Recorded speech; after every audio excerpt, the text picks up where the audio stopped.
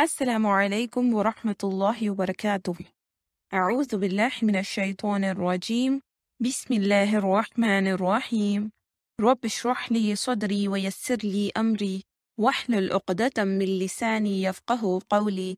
ربنا زدنا علما. اللهم فقهنا في الدين. اللهم آمين. Dear listeners, I welcome you all to the 67th module of Nurani Qaida. Inshallah, Today, we will be looking at the last two letters in this topic of Tanween. So, as you all know, Tanween means nunation. And also, we studied about the three types of Tanween, Fathatan, Kasratan, and Dhammatan. Yes? So now let's look into our last two letters for today. So our first letter for today is the letter Ha. As you all know, this is a throat letter, and this is said from the last part of the throat, which is near your chest. So, Ha fathatan han. Ha kasratan hin. Ha dhammatan hun. Ha fathatan han.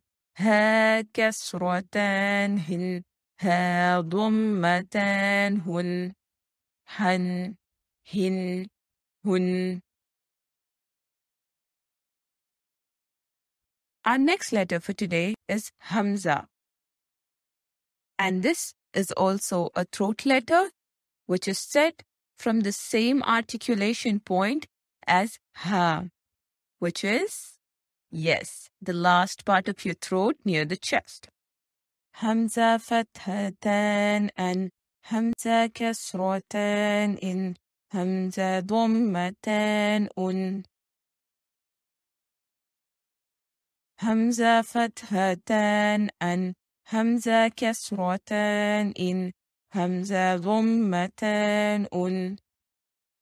أن إن أن. Alhamdulillah, with this we come to the end of our today's session. سبحانك اللهم وبحمدك نشهد أن لا إله إلا أنت نستغفرك ونتوب إليك والسلام عليكم ورحمة الله وبركاته